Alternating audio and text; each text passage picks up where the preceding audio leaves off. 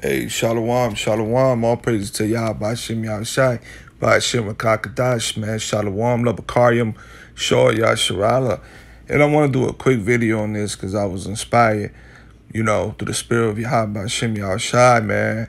And, um, hey, man, this is beautiful, man, because the Lord is doing something beautiful. And like the brothers say on this dream that um he had and his children had. And, you know, it's a very big faith booster and um all all of us brothers that are sincere you know we got family we got children and and wives and family members that we care about you know.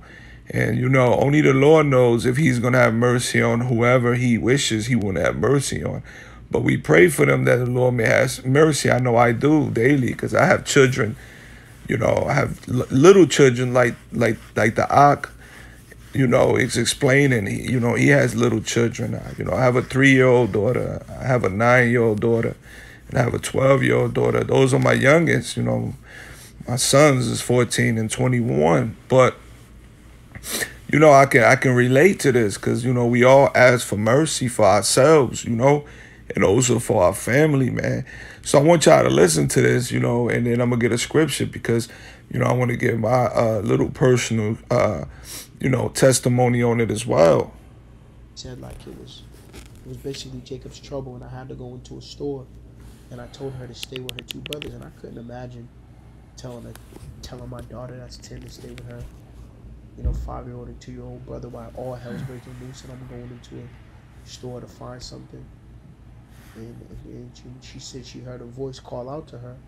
And when she looked up in the sky, she said it was a so called black man with a white hair beard.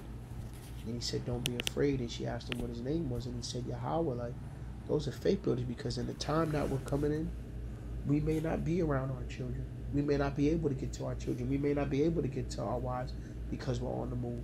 And we're going to put our trust in Yahweh Bashim Yahweh Shai.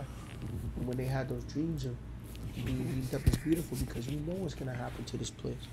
You know, it tells you in the book of Revelation 18 and 4, you know, how the Lord says, Come, um, Matter of fact, I'm going to grab it. This is Revelation 18 and 4. And it says, And I heard another voice from heaven saying, Come out of her, my people, that ye be not partakers of her sins. Yeah, man, and, and that's powerful, man. And like I always tell brothers too here in my camp, you know, here in Jersey and brothers, hey, the Lord always has a way to confirm things, man. If it's if it's spiritual, everything is all spiritual, man. And he has a way of, you know, giving us a sense of safety, man, because he sees that we are sincere. And um I pray for my daughters and my children because they live far from me, you know. And I pick them up, you know, for the weekends. And um they live with their moms and you know, I always pray for them to make sure they're okay, have the angels around them. And the Lord has actually confirmed that through my um 12 year old daughter because she she for the past couple of months been seeing the chariots and she's been recording them. And um now she's into it. She's into it. And you know the lord has been revealing the chariots to my daughter. And uh, when she sees when she she calls me she's excited. She sends it to me. I send it to brothers. And that's just confirmation that the lord is protecting our children through the angels and just like in his dream, man, you know, Yahweh Shem Yashah through the Spirit tells the children, you know, don't worry, you're safe. And that's what's going to happen because we're coming, we're coming down to the wire with this damn devil is showing his true horns. And um, Jacob's troubles around the corner. And we know that we're going to need Yahweh Shem Yashah to protect us. And you better believe it that he is going to make miracles and things happen. It's going to be divine intervention, you know? So, you know, Psalms 34 and 7, I know you brothers are familiar with this.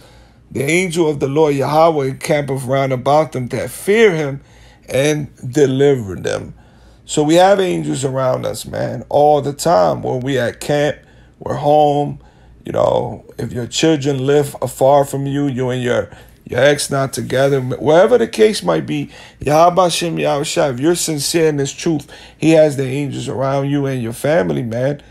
and especially the times that we're approaching Jacob's trouble, we're gonna be all right, man. You know. So let me get a um.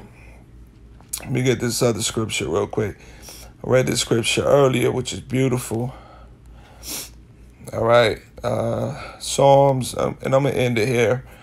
Psalms 144, and I'm gonna start at, at, at what's it? One Psalms 144. Yeah, I'm gonna start at verse six.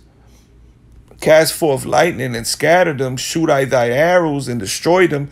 Send thy hand from above. Rid me and deliver me out of out of great waters. From the hand of strange children, whose mouth speaketh vanity, and their right hand is right hand of falsehood.